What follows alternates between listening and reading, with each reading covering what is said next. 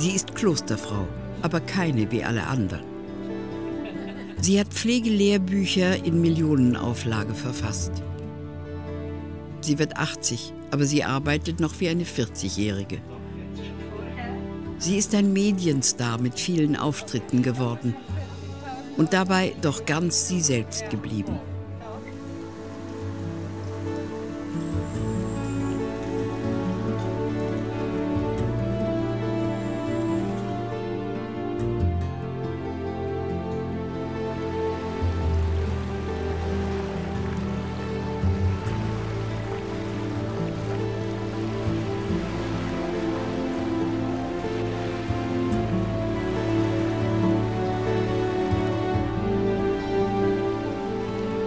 Vor mehr als 20 Jahren schrieb die damals knapp 60-jährige Schwester Liliane Juchli, ich spüre die Freude und Vehemenz, mit der ich am Steuer des Schiffes Pflege gestanden bin.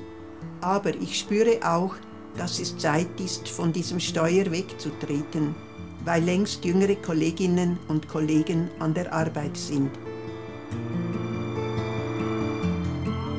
Aber die Kolleginnen und Kollegen ließen sie nicht so schnell ziehen.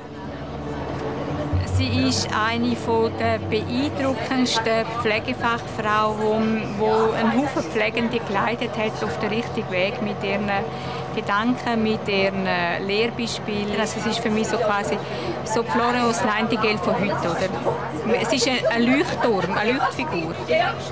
Und mit ihren Büchern hat sie natürlich unerhört die Verbreitung von ihrem Verständnis von der Pflege und aber auch von ihrer Fachkompetenz von der Pflege in ganz weite Kreise von der Pflegenden international im deutschsprachigen Raum gebracht. Also Bücher, meine Bücher, da muss man schon auf, das sind hier oben ist das Krankenpflegebuch. Bis zur achten Auflage habe ich es selber gemacht. Ab hier habe ich es dem Team Verlag übergeben. Und ganz hinten sind noch die Bücher, wo ich einfach Vorwörter oder äh, Grußwörter oder einzelne Kapitel drin habe. Der Anfang ist das hier. Krankenpflege nichts anderes als ein Handbuch für unsere Schülerinnen, noch von Hand von Schreibmaschinen geschrieben und Zeichnungen, ja, noch ganz fast ein naiv, von, auch von Hand gemacht. Und das Buch hat 300, 400 Seiten gehabt. Und schon gleich sind Kolleginnen von Deutschland hierher gekommen und haben gefunden, sie nehmen das Buch mit und dann haben sie die ganze Pflege. Wenn man sich das so überlegt, die ganze Pflege in 300 Seiten. Time Verlag ist dann auftaucht, weil die Pflegende gefunden haben, wir haben ja nichts und da ist etwas, also soll er als Fachverlag das übernehmen. Time Verlag hat dann das Telgel übernommen und dann ist einmal eine erste Auflage gekommen dass das nachher mein ganzes Leben beeinflusst und ja, verändert. Das hätte ich mir da nicht vorstellen lassen. Ich glaube, ich hätte es nicht gewagt, reinsteigen. Also das ist so ein Stück, das ist die Jubiläumsausgabe, die dann noch ein bisschen besonderes gestaltet worden ist.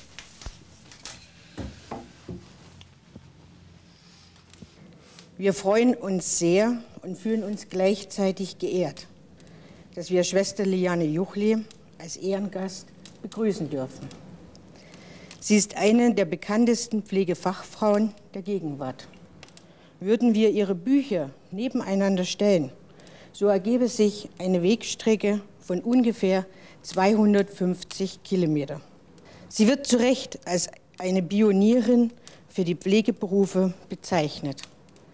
Denn sie prägte entscheidend die Auffassung von Pflege in denen sie sich konsequent für ein neues Pflegeverständnis einsetzt.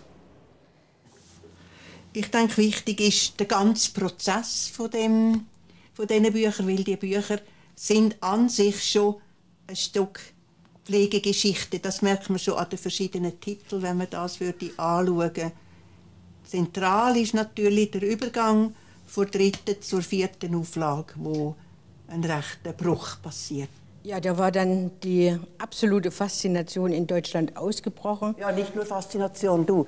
Äh, das war eher, das war eher Revolution. Ihr kennt das nicht mehr, aber vielleicht habt ihr davon gehört, dieses Diagnose, Symptom, Therapie, Pflege.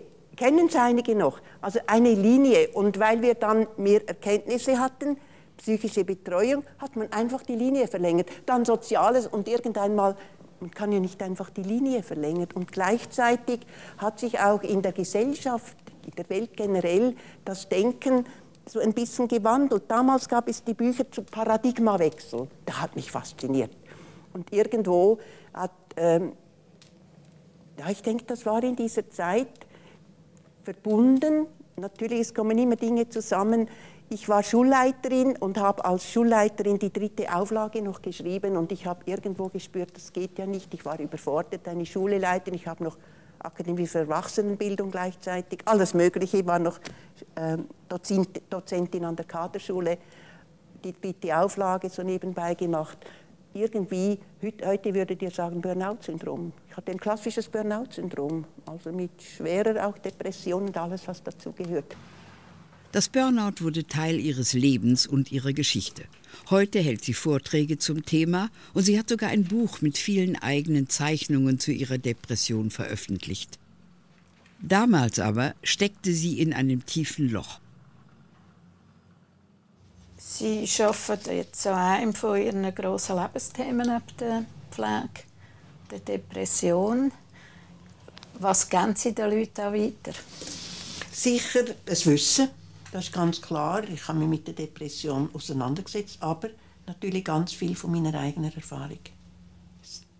Ich glaube sogar, dass man über Depressionen rein theoretisch ja, man kann abhandeln kann. Aber um was wirklich geht, da ist es auch ein Glück, wenn man selber auf Erfahrungen kann zurück, auf zurückgreifen kann. Doch ich tue im Verlauf von so Obungen zu Depression immer auch das Thema Depression als Lebensgefühl, ist etwas, das wir alle kennen und wo ich dann auch dazu stehe, dass ich es selber auch erlebt habe, durchgestanden habe.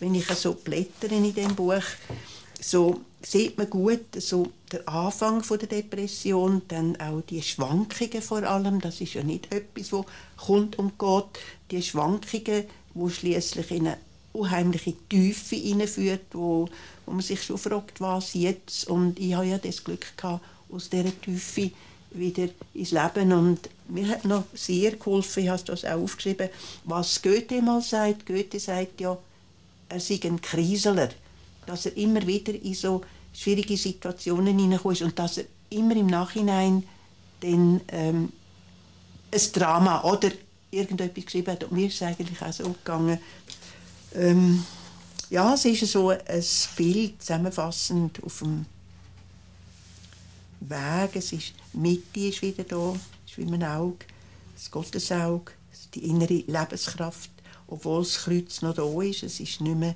zentral im Vordergrund und sehr, sehr eindrücklich ist ja die grüne Kraft, dass es wieder angebunden ist als Leben, als Lebendige nachdem die schwerste Zeit vorbei war, ist die Auseinandersetzung wie weiter. Bis und mit auch ähm, die Anpassung im Kloster habe ich mich nicht stark auch angepasst, wo es nicht nötig gewesen wäre. Und es ist wie eine neue Freiheit, eine innere Freiheit, würde ich sagen, ist entstanden. Aus dieser inneren Freiheit auch eine Selbstständigkeit, auch eine, eine eigene Macht da. Und es ist gut, was ich mache. Das habe ich vorher nicht gehabt.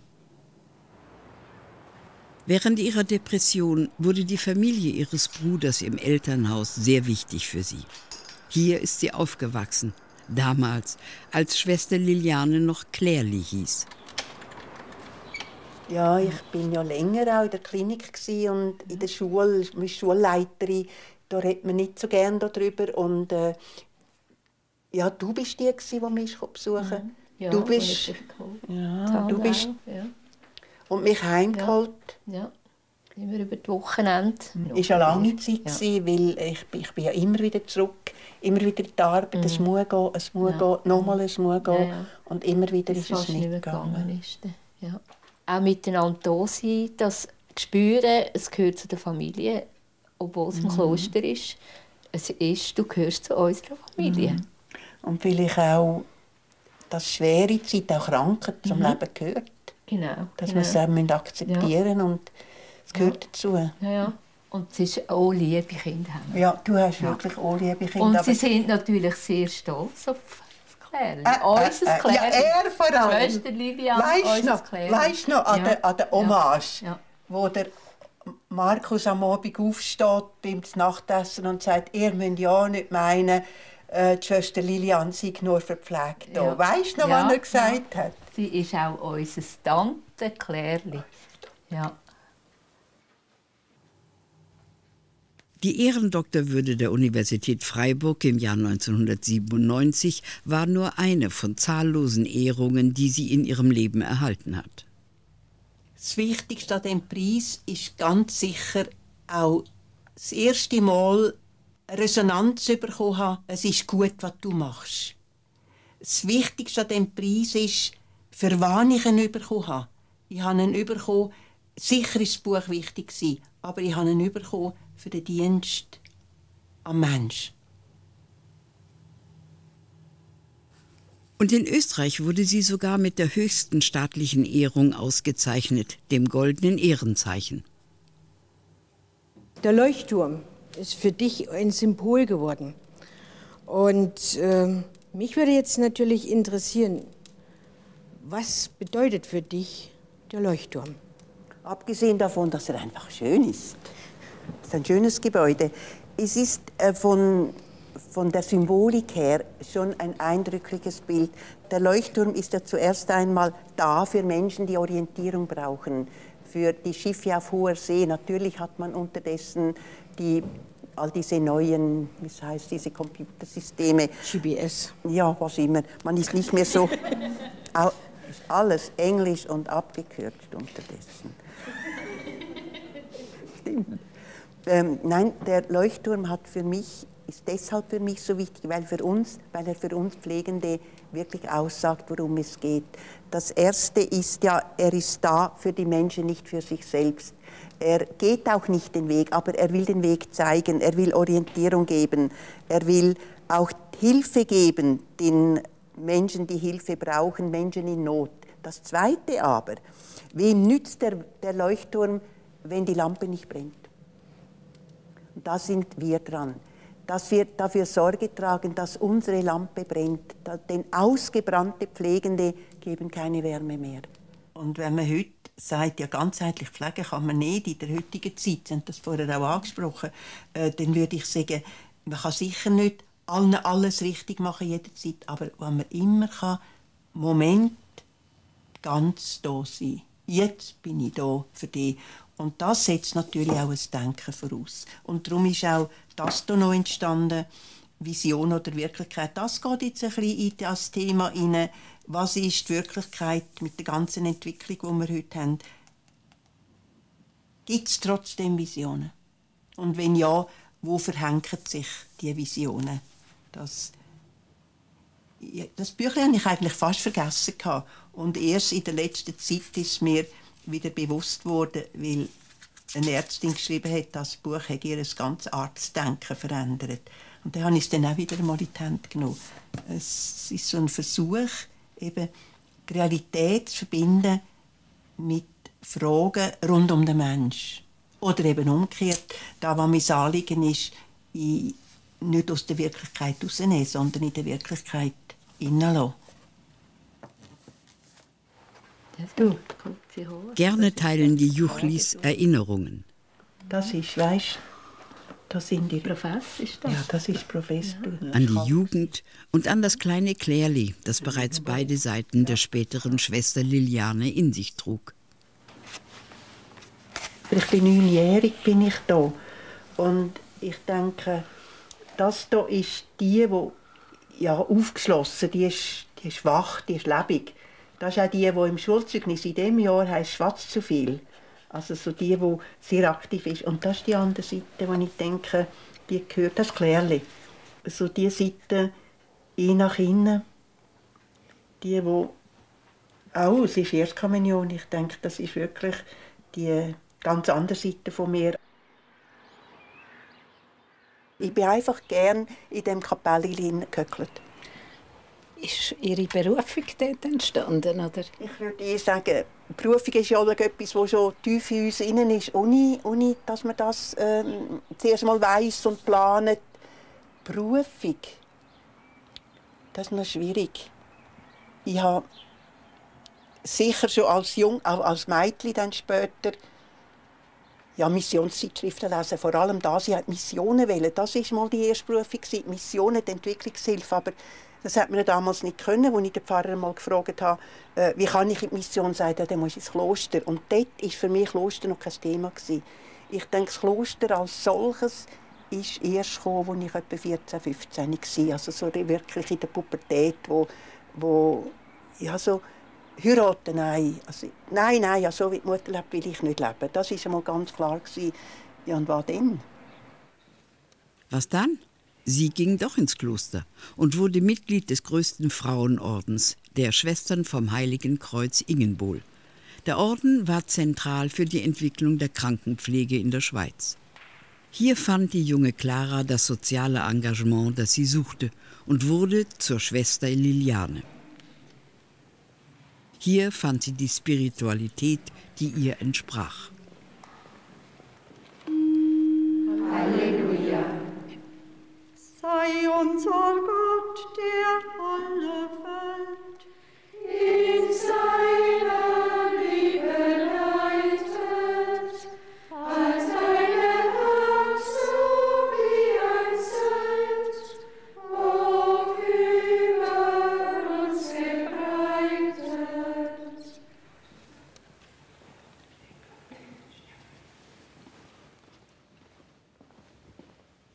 Hier am Grab der Ordensgründerin wurde sich die junge Clara noch vor der Ausbildung zur Krankenschwester ihrer Berufung bewusst. Und als ich dort am Grab gestanden bin, am Grab von unserer Gründerin, Mutter Maria Theresia, da habe ich gespürt, das ist es, da gehöre ich her. Und ich habe gleichsam mit Mutter Maria Theresia wie einen Vertrag bin ich eingegangen. Da bin ich, brauche mich für immer. Ich möchte den Menschen helfen, wie du ihnen geholfen hast. Und ich bin da für immer. So, das ist so der allererste Kontakt. Ich glaube, ich bin etwa 17 gewesen. Ja, 16, 17. Mutter Maria Theresia hat auch so Kernsätze hinterlassen. Und ein von diesen Kernsätzen, wo mir sehr wichtig ist und wo ich immer wieder auch brauche in der Arbeit mit Menschen, das Gramm Gold im Mitmenschen entdecken. Das heißt, jedem Mensch schlummert etwas Gutes, etwas Schönes und dass man so miteinander umgeht, dass man den anderen auch sehen als der, der das in sich hineinträgt.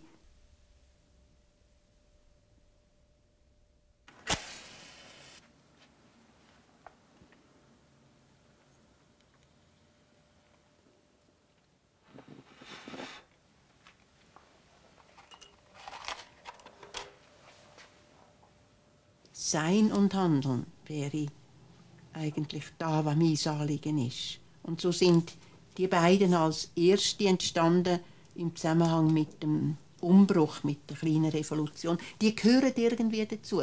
Die anderen Bücher sind nachher eins ums andere gekommen, je nach Thematik, die dann im Vordergrund war. Ein sehr, sehr schönes Buch, was du in dieser Zeit auch geschrieben hast, wo ich eben auch vorher herauszitiert habe, dass hier natürlich eben auch die Philosophie einen ganz, ganz großen Stellenwert äh, in diesem Buch hat. Und äh, ich möchte es allen Studierenden empfehlen, dieses mhm. Buch Man kriegt es noch lesen. Internet. ja. Und Bücher schreiben gehört ja nicht zum Kloster letztlich. Wir schreiben keine Bücher. Aber irgendeinmal haben sie das dann zugelassen und das hat eben auch seine Eigendynamik bekommen. Ja, was mache ich jetzt? Kann ich dieses Buch herausgeben oder kann ich es nicht herausgeben? Und dann hat die, die Verantwortliche gesagt, ja, Sie machen ja sowieso, was Sie wollen, ist ja schon da. ich sage, ja, es sind halt auch Zwillinge. Und dann haben Sie auch das, das gleiche Kleidchen eigentlich. Das sind meine Zwillinge. Bruder Otto ist seit Jahrzehnten ein enger Mitarbeiter von Schwester Liliane. Er hat Tausende von Folien für ihre Vorträge und Kurse gestaltet. Ja, das ist gut. Hm? Ja, ist gut. Jetzt musst du unten noch machen. Wie die Perle in der Muschel, das ist der Text, den wir noch brauchen. Wie die Perle in der Muschel. Nächst, nein, Muschel. Ja, da hauen wir ein bisschen Ja, mach dir. doch nicht. Muschel. SC. Muschel, nein, Muschel.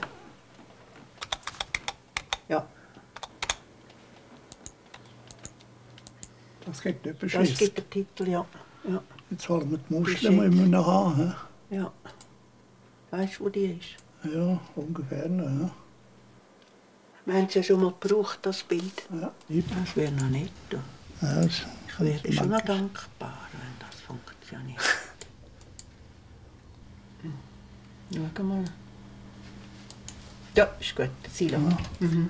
Wir sehen hier die Muschel. Ein langes, langes Muschelleben lang hat sie daran gearbeitet, dass eine Perle wurde. Ihr kennt die Geschichte von der Perle. Und wie die Perle in der Muschel nur langsam gewachsen ist und wächst, so auch die Chance des Alters. Ihr seid so schön eingewurzelt.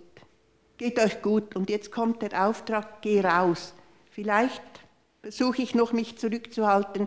Irgendeinmal muss ich gehen. Aber ich kann nicht lange in diesem soll ich, soll ich nicht bleiben. Das geht nicht, ich muss. Den nächsten Schritt. Und jetzt, wie geht's mir? Geht's mir gut? Noch, noch nicht ganz. Warum nicht? Weil du den anderen Fuß nachholen musst. Ja, genau, ihr habt recht. Ich bin im Spagat. Und Spagat geht nie. Also. Und was passiert jetzt? Der nächste Wechsel. Kaum bin ich hier wieder so ein bisschen daheim, kommt der nächste Ruf. Und schon wieder muss ich mich in dieses Spiel des Veränderns einlassen. Was so der Auftrag ist in dieser äh, dieser Zeit, die ihr jetzt bekommt. Mein Ordensweg, mein, meine Antwort auf den Ruf des Rufers. Jetzt, die Aufgabe ist klar. Stimmt's? Ihr geht mit diesem Blatt und euren Farbstiften, Filzstiften und gebt der Farbe. Ich hoffe, dass die auch farbig sind, also einfach mit Begeisterung. Da wird sie vielleicht etwas grauer. Bei mir ist sie da grau geworden, vorübergehend. Na, ja, sie hat wieder Farbe gefunden. Und spürt mal nach, in welcher Farbe möchtet ihr das Alter leben und erleben. Alter muss nicht grau sein, auch wenn ihr grau-schwarze Kleider trägt ich sage manchmal nur drei Worte, bleiben Sie dran. Und wenn ich dann dieses Feuer in diesen Augen sehe, denke ich, ja, das ist es. Und für mich ist die Hoffnung in der Pflege die jungen Menschen, die sich heute trotz diesen schwierigen Situationen aufmachen und pflegen wollen. Ich darf im Namen der gesamten Anwesenden dir ein ganz, ganz herzliches Dankeschön sagen. Es hat uns sehr gefreut, sich mit dir zu unterhalten. Und es hat uns natürlich auch sehr gefreut, dir zuzuhören. Stimmt's? Deine Faszination. Stimmt's wirklich? Mal ganz ehrlich. Ja. Dir ein herzliches Dankeschön. Danke. Danke. Schön. Ja, ja. Heißt Blumengeschäft und wir sind im Kerngeschäft. Also ich muss sagen, sie schafft einfach immer wieder das Feuer entfachen, ähm, dass man wieder neu begeistert im Pflegeberuf geht und dass man wieder einfach auch neu merkt, um was geht es eigentlich. Gut, Andreas. Vielen Dank, es war eine gell? Freude, Sie kennenzulernen. Schön, danke. Ich möchte es so beschreiben, es löst Gänsehaut aus, Sie zu hören. Und sie hat heute auch beschrieben, wie man Feuer sozusagen nicht zum Erlischen bringt. Was soll ich? Dranbleiben.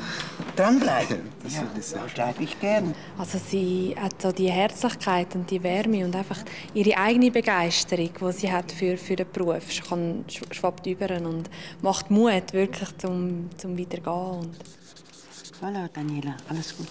Dankeschön. Dranbleiben. Ja, stimmt. Sie hat schon so viel miterlebt, was den Beruf betrifft, dass sie auch wirklich auch vorausschauen, was wir Jungen jetzt brauchen, wie wir jeden Tag ins berufliche Leben steigen. Und ich habe das Gefühl, die spricht mir ein bisschen aus dem Herz. Sie ist mit 80 oder knapp 80 Jahren immer noch ähm, State of the Art, wie man so sagen kann. Also sie kann äh, mit Sicherheit junges Publikum und junge ähm, Pflegekräfte und auch hoffentlich potenziell äh, junge Pflegekräfte ähm, ja, begeistern. Deshalb denke ich, ist sie ein ganz, ganz wichtiger Hoffnungsträger auch ähm, für die Zukunft. Selbst wenn das Licht mal ausgehen sollte, und man an sich selbst dran bleibt, dass es wieder angehen kann und dass es entfachen kann. Und äh, ich habe ganz deutlich gespürt, wie es bei Frau Juchli äh, immer noch brennt. Alles Gute, gell? Michelle. Michelle.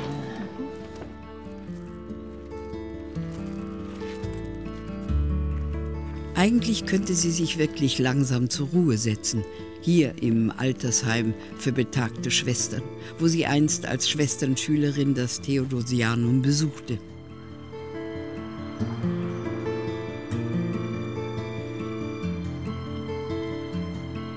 Hier, wo alles begann, wo die Idee zu ihren Pflegelehrbüchern geboren wurde.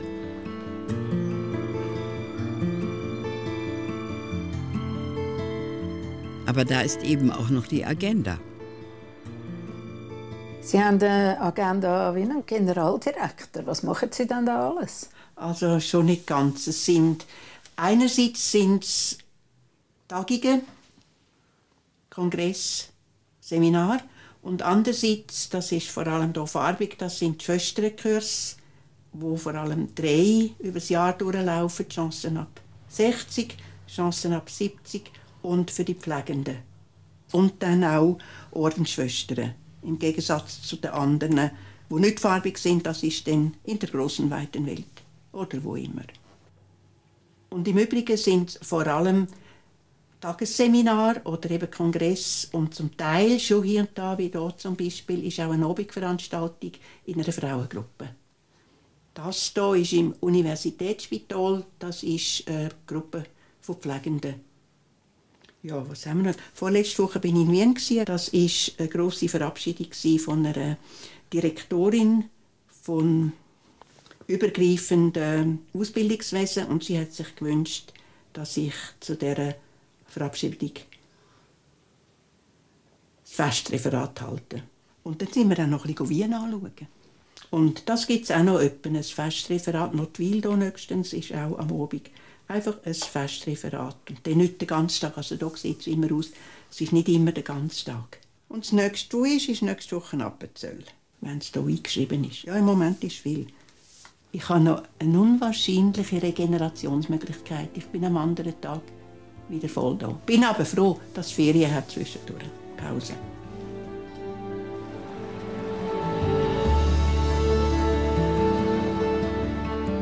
Dabei schrieb sie doch schon vor 20 Jahren.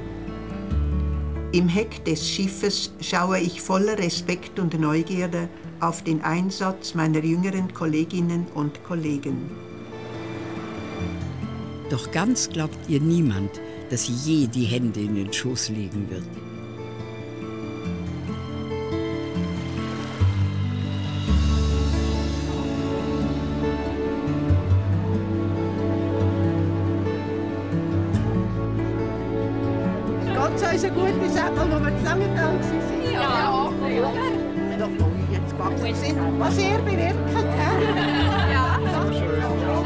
Die Fahrt.